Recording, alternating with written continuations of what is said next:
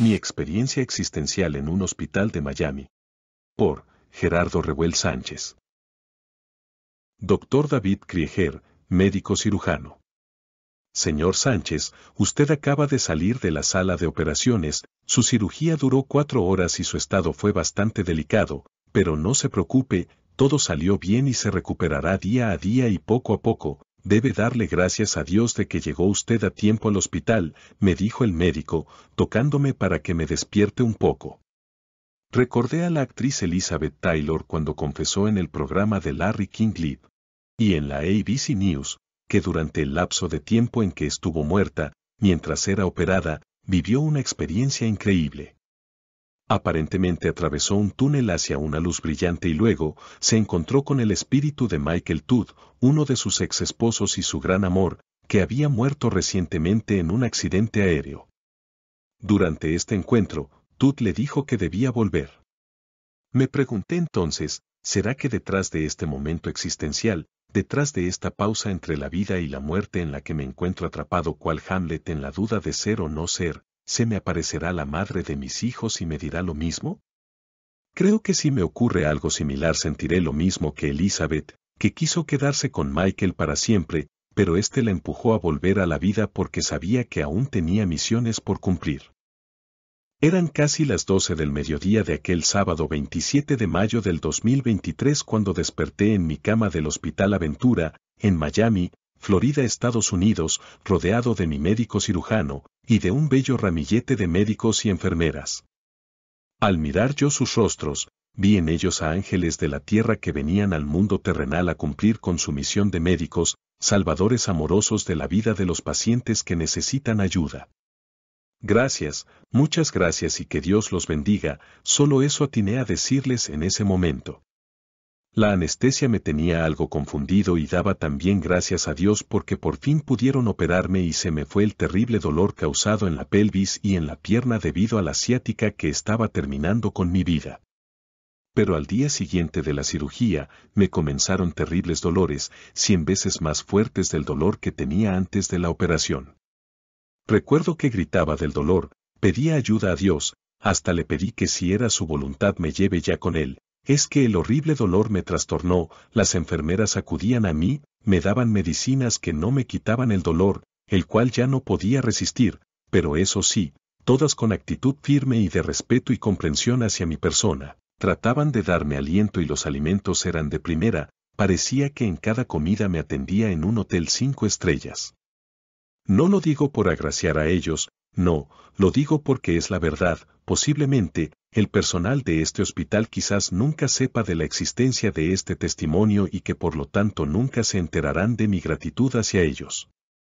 Lo digo porque soy realista y agradecido, honor a quien honor merece. Pero, como humanos al fin y al cabo no todo es perfecto, me incomodó que en este hospital no le dan al paciente jabón para bañarse, no dan alguna cosa especial para el enjuague de la boca, solo dan una pequeña botellita de champú y con eso uno se las tiene que arreglar en el aseo.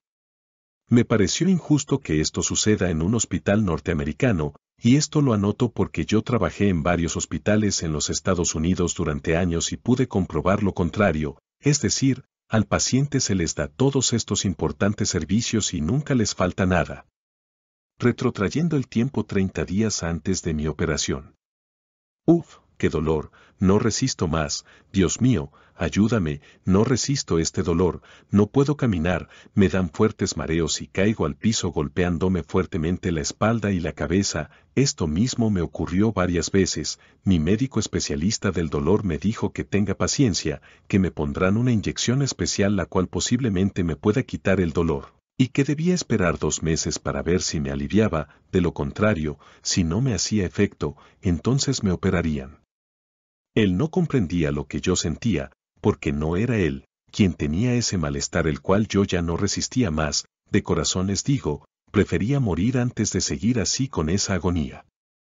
El día 10 de mayo, Amanecí con el dolor más fuerte que nunca, muchos mareos y me sentía muy débil, alguien tocó mi puerta y como pude me arrastré hacia la puerta, la abrí y caí desmayado por el intenso dolor, inmediatamente llamaron al 911 y en menos de 10 minutos llegó la ambulancia. Me llevaron al hospital donde ya me esperaban varios médicos para atenderme.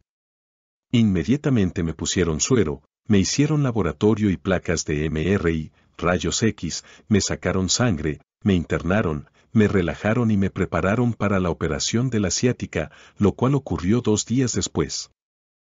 Aún recuerdo cuando antes de las seis de la mañana me llevaron en camilla a la sala de operaciones, varios médicos y enfermeras nos acompañaban dándome consuelo, quedé sin conocimiento, no sentía ni veía nada, creo que estaba muerto, pero de pronto, dentro de mi ser sentí una voz que me decía, Hijo mío, si quieres te puedes quedar con nosotros, pero si quieres puedes regresar, ya que todavía no has terminado tu misión en la tierra.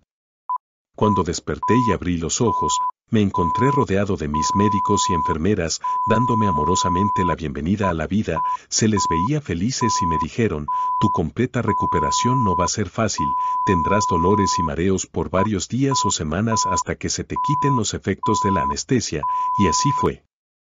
Después de ocho días me enviaron a un centro de recuperación por varios días, allí me dieron terapia física, medicinas y mucho aliento, luego de unos días fui dado de alta, me llevaron a casa y sigo con mis terapias físicas con personal profesional que me envían del seguro médico que tengo.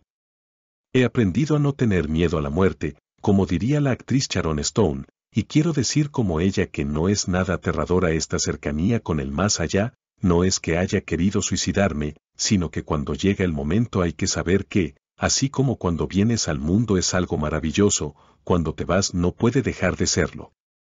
Hay una increíble sensación de bienestar. Al estar muy cerca a la muerte hay una extraña seguridad, no distante ni aterradora. La razón de no terminar de irme solo Dios la sabe, de allí este relato. Actualmente sigo con mi recuperación y ya me siento mejor. Gracias a la aventura hospital, gracias a Dios, ahora estoy listo para servirte querido Padre Celestial. Amén.